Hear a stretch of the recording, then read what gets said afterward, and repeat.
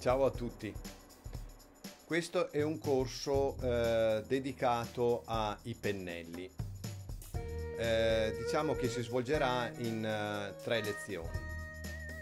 La prima si occuperà del, uh, di pennelli di setura di maiale.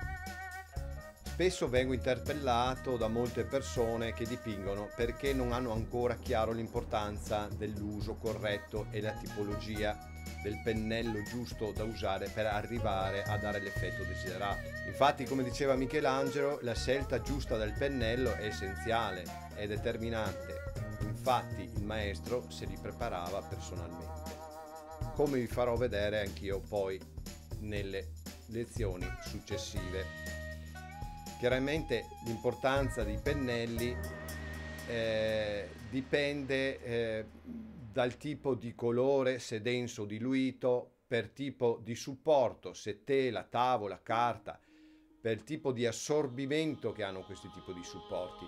Quindi bisogna scegliere il pennello adatto per avere l'effetto appunto desiderato. Ora passeremo a farvi vedere la forma e la tipologia dei pennelli in modo molto veloce, tanto per avere un'idea generale. Come vedete abbiamo molti tipi di pennelli di forma e tipologia. Abbiamo pennelli molto rigidi come quelli di maiale o anche sintetici, ce ne sono di molto rigidi. Poi abbiamo appunto setole eh, naturali, pelo di bue, martora.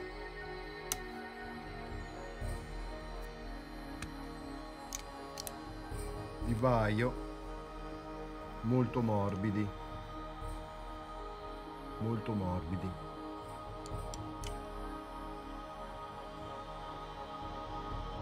Poi abbiamo setole lunghe per fare segni molto fini e per tenere più acqua o più colore. E setole invece corte. Vedete? Molto corte. Tondo vari formati. A punta con punte molto fili a punta a lingua di gatto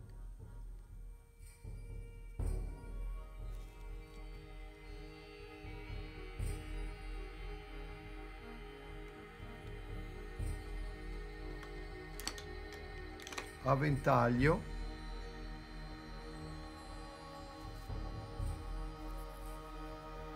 piatti e obliqui tagliati in questo modo. E tagliati, tagliati per degli effetti particolari. Vedremo anche in questo videocorso, soprattutto nelle lezioni successive, l'uso con le tecniche pittoriche che si hanno con questi pennelli, con l'acquerello, con la tempera, con l'acrilico. Poi una cosa molto importante è la pulizia dei pennelli cui io ci tengo moltissimo perché è un arnese molto importante e se l'arnese è tenuto bene chiaramente eh, darà degli effetti giusti. Se il pennello è sport non potremo fare quello che abbiamo in mente. Poi vi farò vedere anche dei pennelli speciali, ad esempio i pennelli vecchi, consumati, che normalmente si buttano e, e invece possono servire a fare degli effetti molto particolari oppure quelli tagliati a mano. Ok? Allora, nella parte prima di questo corso sui pennelli parlerò dei pennelli di setura di maiale, piatti, tondi, a lingua di gatto, il pennello tondo svizzero o a ventaglio o tagliati, eccetera, eccetera. E le caratteristiche di questi pennelli sono economici, molto economici in rapporto a altri tipi di pennelli, ad esempio ai pennelli di Martora, e la loro rigidità, questo è un altro pro, che dà la possibilità di stendere, sfregare, sfumare e battere il colore sia su carta, su tela e su tavola. Sono forti e di lunga durata se lavati e tenuti con cura. Questo è molto importante, poi vedremo questo particolare. Poi abbiamo le possibilità di avere delle misure molto grandi. Si possono usare pennelli da, da pittore muratore per stendere appunto grandi stesure di colore. Le caratteristiche contro invece è purtroppo poca precisione nel tratto, raramente hanno una punta precisa e non adatti a produrre linee sottili, a parte in certi casi in cui la setola è stata tagliata e lavorata in modo particolare. Non adatti per la pittura ad acquerello, ad esempio, eh, a parte in certi casi in cui si può fare delle tamponature, battiture, spugnature tipo L'importante è non sfregare sulla carta troppo forte perché può provocare di sbriciolamenti della stessa, soprattutto se la carta è molto bagnata. Ora vi farò vedere mm, le varie tipologie dei pennelli di setola naturale di maiale. Eh, ce ne sono di scuri, di maiale scuro che sono di qualità superiore e di quelli chiari. Allora, caratteristica tipica dei eh, pennelli di setola di maiale, come dicevo prima, la loro rigidità, vedete? E la tipologia è varia. Cioè, abbiamo pennelli piatti, abbiamo pennelli tondi, abbiamo pennelli che poi vi farò vedere, questi consumati e tagliati, abbiamo pennelli di vario genere, chiaramente eh, per vari altri tipi di eh, stesure, ad esempio quelli a ventaglio. Chiaramente ci sono anche di, di pelo o di eh, setola di um, martora o di bue o sintetici, però in questo caso bisogna distinguere la differenza fra questo tipo di pennello e altri tipi appunto fra i sintetici o di pelo naturale di altri animali. Il pelo di maiale si distingue in due tipi, si distingue subito perché è eh, bianco, è chiaro, ma ci sono anche pennelli di setola nera. Questa setola nera è di qualità chiaramente superiore. Normalmente si usano questi di setola bianca perché sono anche meno, meno, meno costosi. Anche qui abbiamo eh, manico lungo e manico corto, dipende poi dall'uso che se ne deve fare. Chiaramente per fare cose molto eh, vicine e dettagliate vanno bene questi col manico corto, mentre per cose che si possono fare anche a una certa distanza vanno bene anche questi qua col manico lungo, poi dipende dalla eh, vostra uh, tecnica che usate in, que in, quel momento.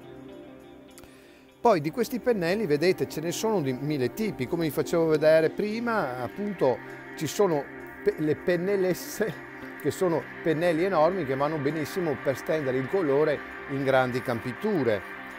Quindi è il pennello ovale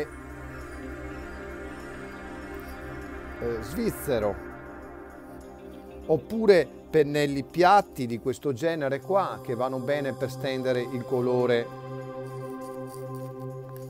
in certe superfici oppure questi tutti un po' strani, un po' particolari che si trovano che vanno bene per, per punzecchiare e poi vi farò vedere anche con l'acquerello o con altre tecniche che tipo di effetti che si possono fare.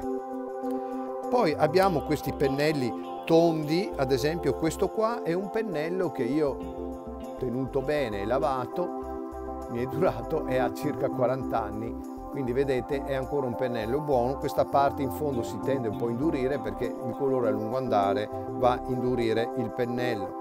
Però anche i pennelli vecchi induriti e di un certo tipo vanno molto bene. Ad esempio questi tagliati non sempre sono tagliati ma sono proprio consumati. Quindi vanno benissimo per tirare linee particolari e sfumare molto bene nelle, ehm, nei contorni il colore poi abbiamo pennelli sempre tagliati di questo genere qua che trovate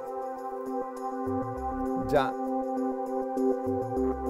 in negozio eh, abbiamo pennelli di questo genere qua che vanno bene per battere grandi superfici di colore, estendere il colore. Hanno sempre, eh, ricordo, questa rigidità che permette di tirare molto bene il colore, che poi vedremo in qualche esempio, vi farò vedere. Oppure questi classici pennelli da, io li chiamo da termosifon, che, sono, che vanno bene per entrare, però vanno benissimo anche questi perché hanno un manico molto lungo e quindi anche questi vanno bene per dipingere. Tutti vanno bene da dipingere, vedete ancora piatti e tagliati.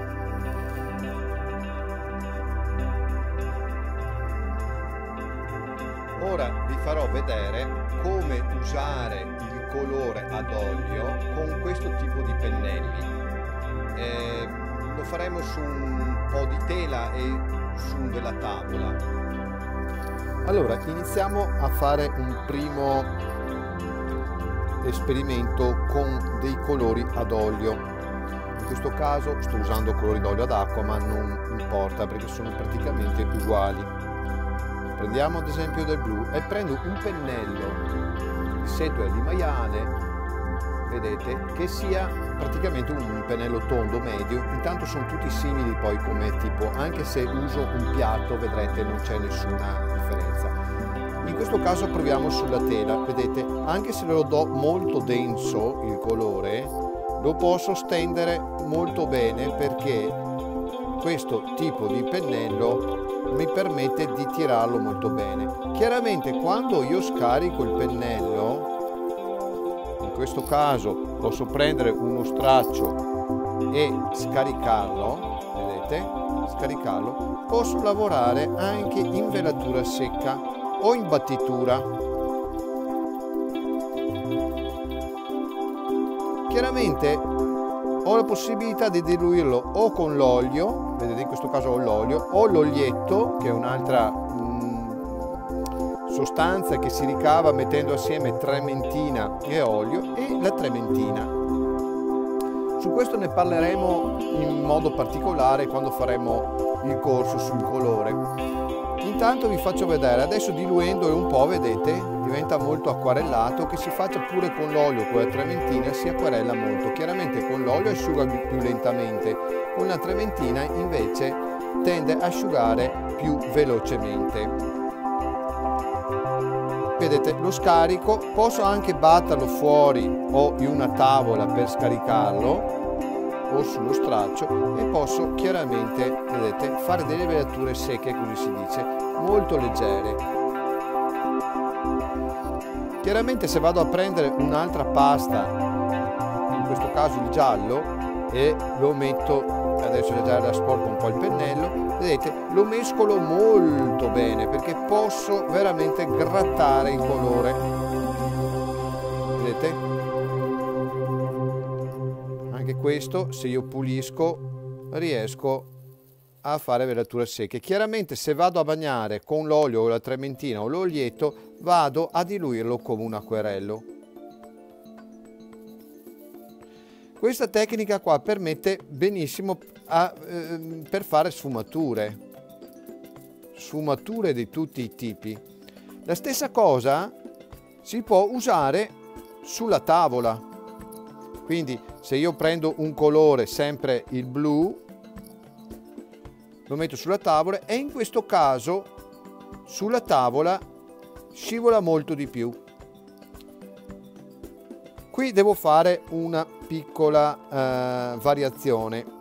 Diciamo, questi pennelli molto più rigidi e tagliati, e poi vi spiegherò come fare a tagliarli, sono adattissimi alla tavola perché nella tavola io posso battere il colore in questo modo qua, vedete? E ridurlo proprio finissimo, vedete? posso addirittura proprio prenderne su anche pochissimo e fare una velatura molto delicata. Vedete? Sempre con un colore chiaramente non diluito. Lo stesso vale per qualsiasi altro tipo di colore. Io posso andare e batterlo in questo modo qua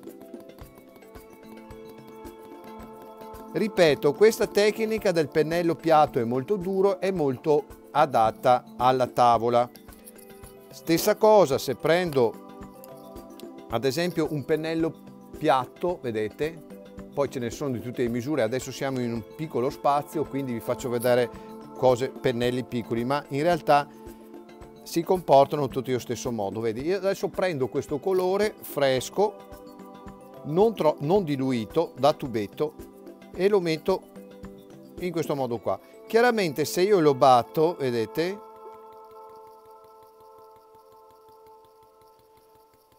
più poi il pennello si scarica, più avrò un effetto di sfumatura.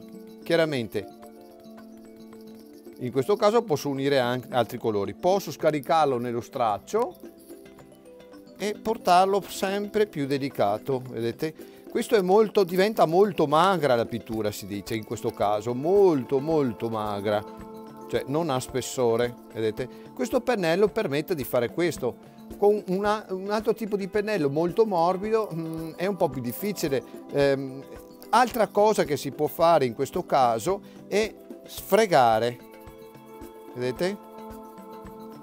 Sfregare il colore. Questa è un'altra tecnica che non è battuta ma è sfregata. Quindi questo sfregamento si può fare tendenzialmente con pennelli di questo genere qua.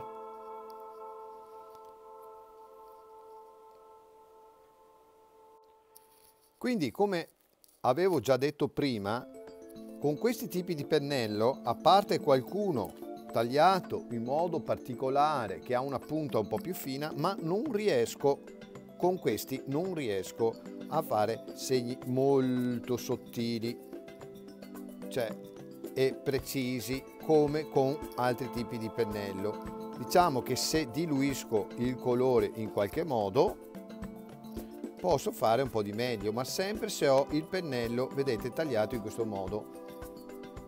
Ma tendenzialmente il pennello di maiale non ha una punta precisa e questo può essere molto vantaggioso appunto quando si deve sfumare, tirare, sfregare e battere il colore e quindi creare anche quella tecnica che appunto si chiama velatura.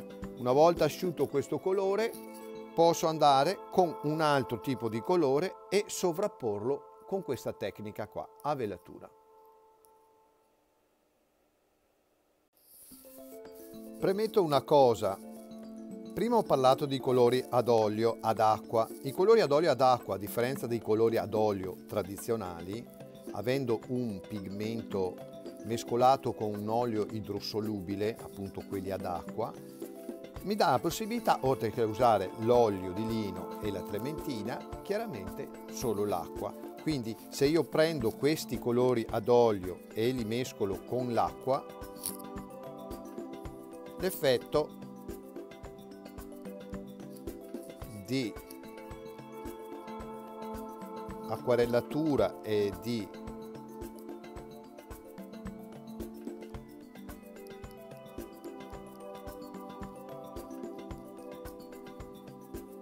è molto simile all'effetto che come quando usate eh, l'olio o la trementina. Però io continuo a dire che è, è meglio usare sempre l'olio e la trementina e solo per lavarli poi che va bene acqua e sapone ma in questo caso diciamo ragioniamo con un tipo di eh, prodotto che eh, è ottimo per usarlo in qualsiasi modo, quindi possiamo usare l'acqua, possiamo usare l'olio.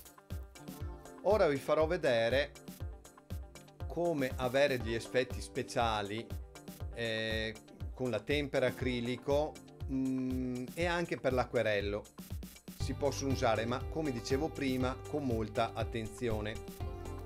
Altra cosa che devo parlarvi, che è molto importante, sono i colori acrilici e la tempera. Anche la tempera e i colori acrilici chiaramente si usano solo con acqua. Adesso in questo caso qua ne verso un pochino in questo modo qua. Questa è molto liquida,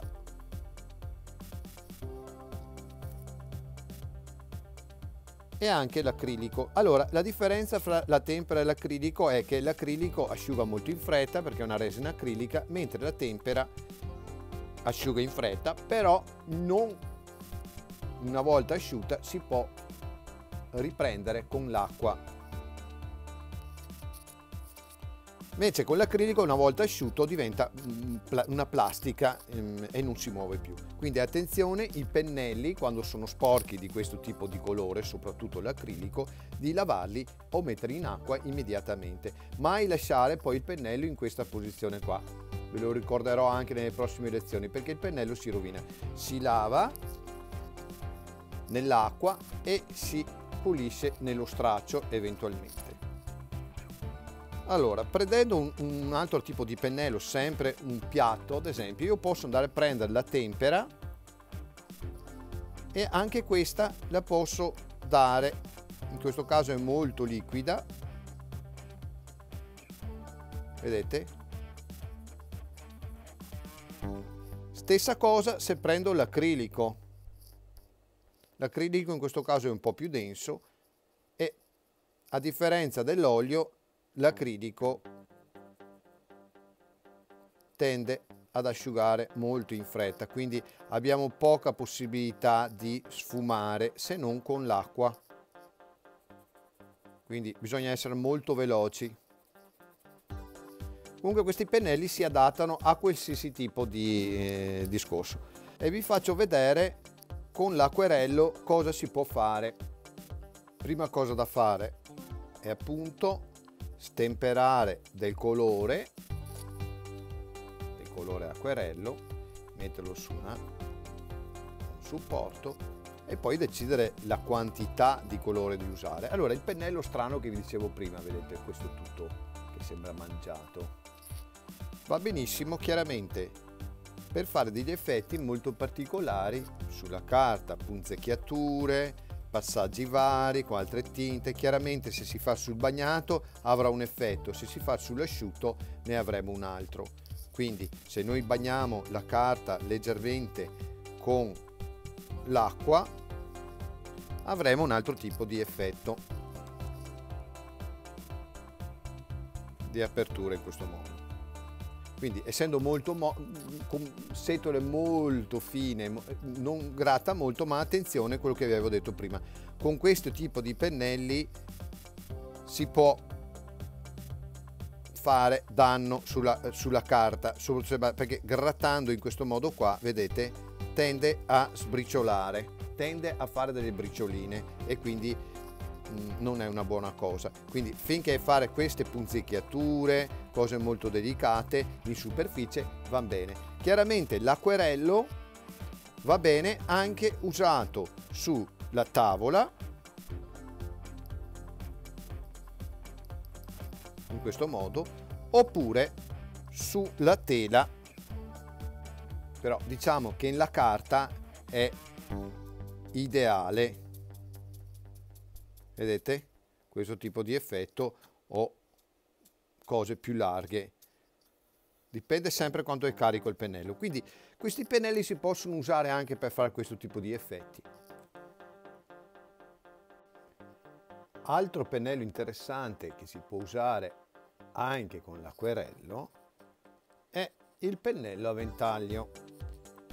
Il pennello a ventaglio una volta usato su carta dà un effetto simile a quello che vi avevo fatto vedere prima. Quindi si può fare questi tipi di effettistica. Chiaramente più carico è più il colore viene deciso. Vedete? Si possono fare filetti se è molto diluito filetti lunghi eccetera. Quindi è possibile usarlo in questo modo qua. Chiaramente il pennello a ventaglio è adatto all'acrilico carta, acquerello, su tela, e anche chiaramente sulla tavola. Vedete, in questo modo si può usare anche di lato per fare effetto alberi, eccetera. E chiaramente con l'olio. Con l'olio che diventa, si può usare molto pastoso su tavola, sulla carta, mi raccomando, anche sulla carta potete farlo tranquillamente e chiaramente anche sulla tela. Vedete?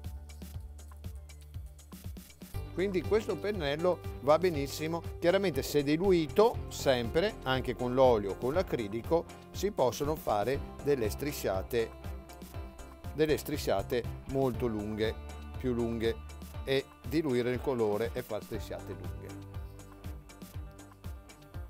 A questo punto vi faccio vedere mh, mm, qualche mio lavoro in cui io ho usato um, molto questo tipo di pennello, soprattutto nel mio passato li usavo tantissimo, appunto per il fatto che erano economici, molto rigidi e a me piaceva appunto eh, avere un tipo di pennello forte eh, che mi permetteva anche di eh, battere o tirare il colore anche se molto denso. Ad esempio, in questi tre lavori realizzati su Faesite nel 1980, nel primo ho usato olio e acrilico, nel secondo acquerello e acrilico, come per il terzo, sempre acquerello e acrilico e ho usato questi tipi di pennelli per realizzarli. Anche in questi lavori fatti su tela di grandi dimensioni ho realizzato la pittura con i pennelli che vi ho fatto vedere prima, chiaramente con una tecnica leggermente più sfumata e più raffinata. Anche in questi dipinti, realizzati su tela e tavola, ho usato sempre i pennelli in gran parte di maiale. Naturalmente ho usato pennelli molto più piccoli e con tipo di sfumatura sempre più raffinata. Nei prossimi lavori che stiamo vedendo adesso ho realizzato le sfumature e gli incarnati usando gran parte pennelli di maiale chiaramente tagliati o solamente consumati dall'usura del tempo per creare sfumature molto morbide.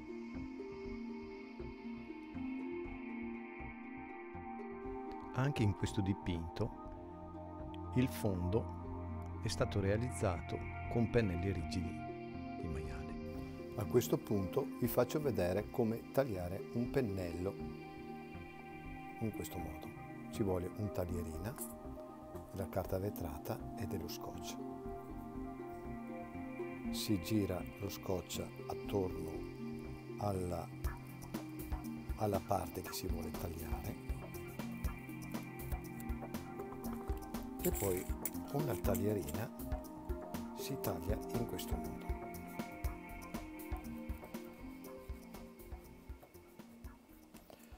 Fatto questo lavoro si passa la carta vetrata per arrotondare la punta. Si può poi levare lo scotch e continuare il lavoro girando il pennello in questo modo, in modo da arrotondare eventualmente qualche punta. E voilà. Adesso appunto partiamo con una serie di lavori e vi spiego appunto eh, questo tipo di tecnica che è molto interessante. In questi dipinti di arte gestuale o action painting ho usato questo tipo di pennelli per fare queste strisciate e anche per il lancio del colore. Quindi ci vogliono pennelli molto grandi per prendere molta tinta e per fare appunto questi segni molto lunghi. Qui invece ho usato un pennello a ventaglio per fare la vegetazione e le foglie. Altra cosa importantissima che avevo già accennato prima è il fatto di come lavare correttamente i pennelli sia con eh, l'olio tradizionale oppure olio ad acqua eh, tendenzialmente con gli altri tipo di colori eh, basta solo acqua mentre con l'olio tradizionale come vi farò vedere fra poco si deve anche usare eh, l'acqua ragia bene siamo arrivati al punto della pulitura del pennello in questo caso che ho del colore ad olio, la cosa più importante, dovete ricordare assolutamente, è scaricare questo pennello prima di lavarlo o pulirlo, di scaricarlo bene su uno straccio o su della carta, in modo da tirare via la parte più grossolana, quella maggiore di colore. Nel caso del colore ad olio tradizionale bisogna passarlo dentro nell'acqua ragia e dare una prima lavata in questo modo qua. Altrimenti si può lasciare in questo portapennelli chiaramente il pennello non deve toccare mai il fondo del, del, del portapennello e lasciarlo qui in, in eh, quanto tempo si vuole e lui si scarica. Ma se noi usiamo acrilico acquerello tempera e olio ad acqua questa operazione non la facciamo e passiamo direttamente a lavarli, come vi farò vedere fra poco, con acqua e sapone. Eccoci qua. Adesso siamo praticamente nella fase di pulitura del pennello solo con acqua e sapone. La prima cosa ricordatevi, ve lo ripeto, cercate di scaricare il pennello bene, bene prima di fare questa operazione. La prima cosa da fare è fare andare giù l'acqua questo vale per i colori sempre ad acqua, quindi ad olio ad acqua, acrilici, eccetera, eccetera. Quindi si passa in questo modo qua, in modo da scaricare il più possibile da scaricare il più possibile il colore dopo averlo passato sullo straccio e in questo caso qua adesso noi prendiamo il nostro sapone di Marsiglia e giriamo il nostro pennello in questo modo qua. Non avete paura di farli male, dovete fare un bel shampoo, uno shampino fatto bene, vedete, quando a un certo punto non ho più colore che esce da questa situazione, il pennello, vedete, resta bianco, il pennello è a posto. Si risciacqua bene, e il pennello è a posto. Anche per questo tipo di pennello il discorso è sempre lo stesso. Scaricare bene il pennello il più possibile sullo straccio, lavare bene, chiaramente se c'è l'acrilico e lo lasciate asciugare, qua è stato usato anche acrilico, vedete se non viene lavato immediatamente il pericolo è che poi non si riesca più a pulire. Quindi dovete essere veloci. Mentre per l'olio potete anche aspettare tranquillamente anche ore e anche il giorno dopo si può lavare sempre bene lo stesso vedete? Si ripassa in questo modo qua. Si passa bene. In questo modo qua. E si lava bene fino in fondo. Quando vedete che non viene più fuori niente che il colore benissimo. Anche questo pennello è a posto importantissimo che il pennello sia asciutto importantissimo è che il pennello sia pulito come dicevo anche prima perché nel momento che dovrete usarlo vi potrebbe alterare i colori. Quindi prendete un bianco, avete usato un rosso, se non l'avete lavato bene, oltre che a rovinare il pennello, che dopo dovete buttarlo via anche per una questione economica, avete un arnese che poi vi può lasciare giù eh, tinte di colore che avete usato precedentemente e che non va bene. Quindi appunto come dicevo avete un bianco usate un bianco avete usato un rosso se non l'avete lavato bene vi viene fuori un rosa e non capite perché è rosa perché il pennello è sporco. A questo punto diciamo che ehm, è arrivato il momento di farmi delle domande eh, e spero almeno di avervi dato dei dati importanti per eh, continuare il vostro lavoro con questo tipo di pennello.